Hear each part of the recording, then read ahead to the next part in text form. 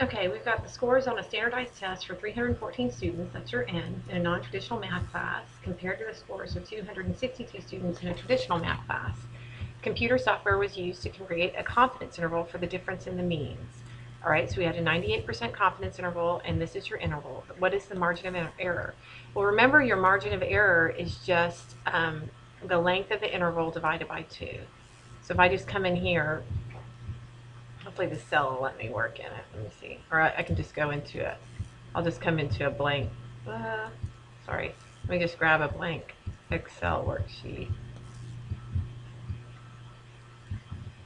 And I will come in here and just get the length of the confidence interval. So that's going to be equals to uh, 3.534 minus negative 2.334. To divide that by, oops, forgot to divide it by 2. Okay, so 2.934.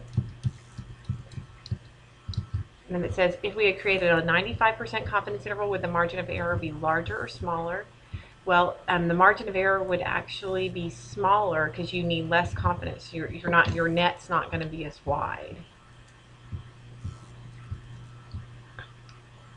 Um, now it says, does this result suggest that students who learn mathematics with non-traditional methods will have significantly higher mean scores on standardized tests than those in traditional classes?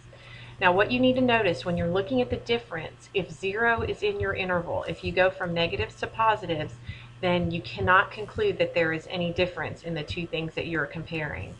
Um, so it will be no because the interval contains zero, there is insufficient evidence.